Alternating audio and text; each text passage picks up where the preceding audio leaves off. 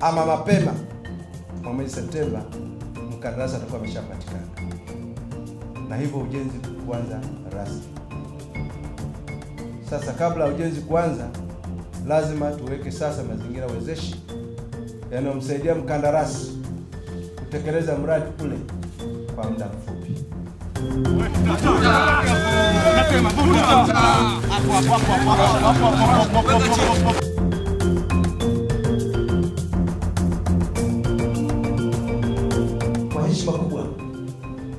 Kuipongeza serikali hasa kutoka kwa Mheshimiwa Rais kwa kuamua kutekeleza mradi. Sasa sisi kama wasimamizi na watekelezaji wake tutatumia kila namna, kila nguvu, kila akili tuliyo nayo kutekeleza kwa dhati mradi huu hadi ukamiliki na kutatua changamoto zilizonazo ndani nchi.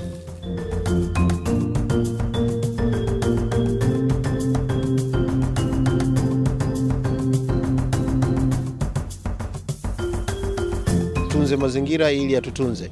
E, mradi huu utawezekana tu pale tutakapohifadhi mazingira katika maeneo yanayohusika, lakini na sisi kwa upande wetu kama serikali ni yale mapendekezo yaliyotolewa na taarifa uh, tuyatekeleze kwa ukamilifu uh, ili mradi huu uendelee kuwepo na uendelee kuwasaidia Watanzania.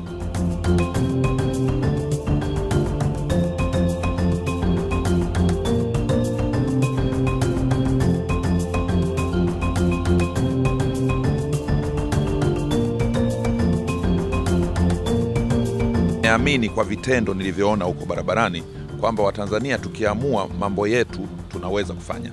Zamani tulizoea tunaamua, alafu tunatafuta watu wengine kufanya. This time tumeamua, tumeamua kufanya. Sasa kwa upande wangu mimi kama Wizara ya Ardhi ninayo majukumu matatu wezeshi ya kufanya huu mradi. Kwanza, nimejipanga kwenda kupima lile eneo la mradi. Lazima lile eneo liainishwe.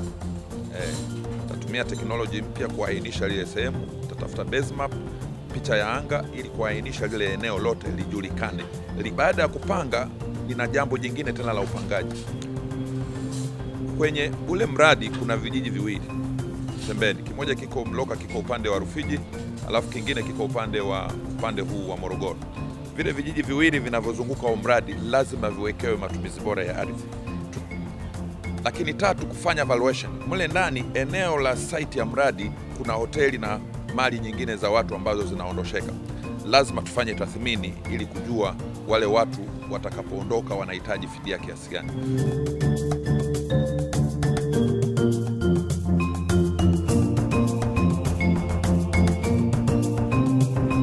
Kweli kupitia majadiliano ya leo tumeona kwenye swala la miundombinu nini tumefanya, na kazi nzuri imefanyika, na hata sasa mkandarasi atakapopatikana, uwezo wa kufika saiti upo, na sote sisi pamoja na nyinyi tumefika, lakini tumeona swala mkandarasi atakapoanza kazi atawezeshwa vipi, nishati, umeme tumefikisha kwa kiwango kikubwa, kazi inaendelea na mpaka tarehe 30 mwisho huu mwisho wa mwezi huu zitakamilika, lakini tumeona kwamba mkandarasi atahitaji uh, maji.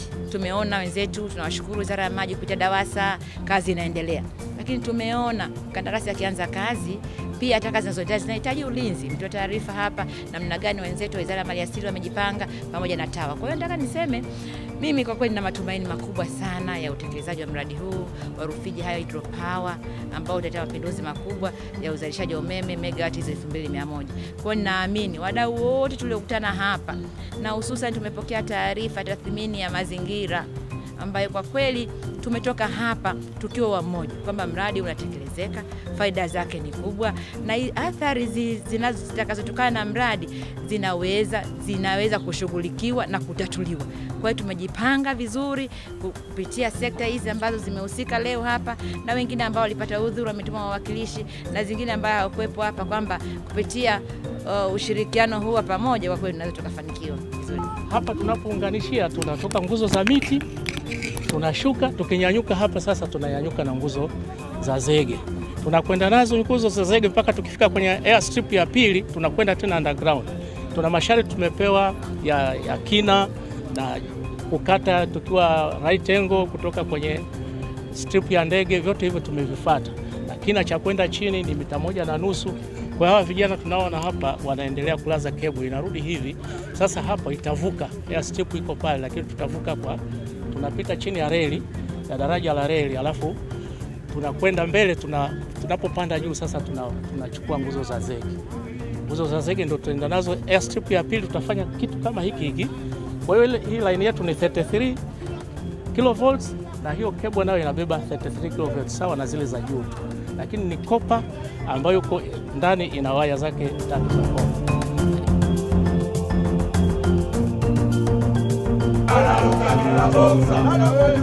Majukumu ambayo tumepewa sisi, kwanza tumejenga laini ya kilovoti 33 kutoka Morogoro mjini mpaka kijiji cha Pangawe, urefu wa kilomita 14.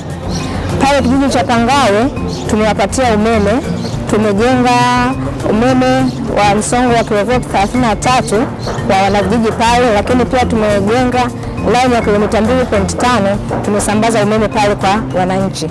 Baada ya hapo tumeenda moja kwa moja mpaka katika kijiji cha Dakawa, kijiji ambacho ndio tumetek umeme wetu wa kwenda eneo la mradi, na pale kwenye kijiji cha Dakawa walikuwa hawana umeme kabisa.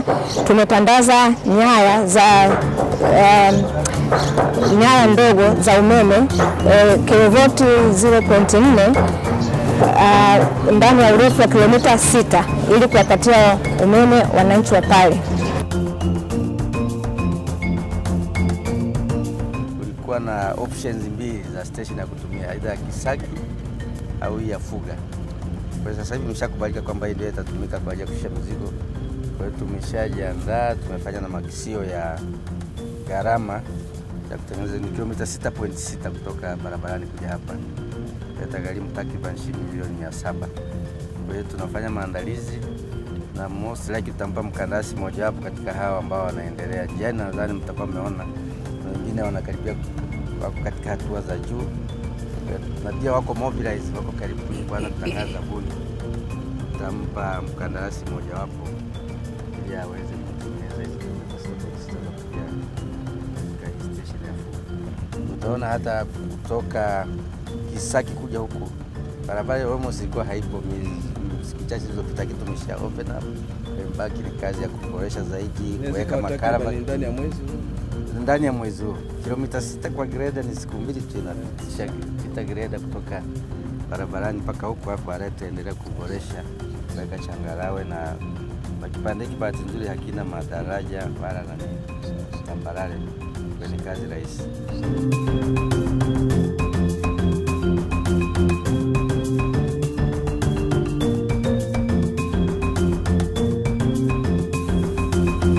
Kwanza kabisa kituo cha Fuga kilivyo leo kina uwezo kubeba mizigo yote ambayo itapatikana katika kipindi cha mwaka mmoja kuanzia sasa bila matengenezo yoyote.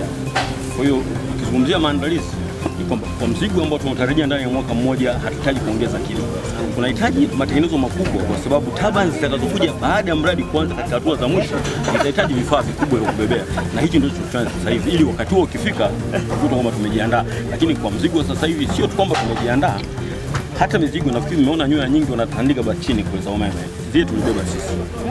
Kwa hiyo uwezo wa kubeba ule mzigo bado sababu reli inafanya kazi na kituo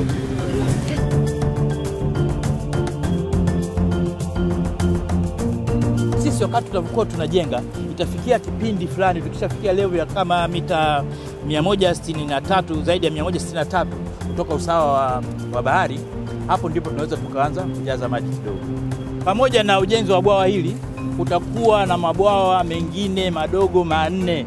Eh, tutajenga matuta mengine manne, hizi tunaita saddle dams. Hizo zitajengwa ng'ambo ya huo mto. Haya matuta ni ya kuzuia utoro wa maji, kwa sababu eneo hili kuna maeneo mengine yako chini zaidi kuliko eneo la, la, la, la bwawa litakapojengwa. Kwa hiyo kama tukiacha bila kujenga ukuta kuzuia maji, ina maana tukijaza bwawa letu huku maji yatatorokea upande ule mwingine.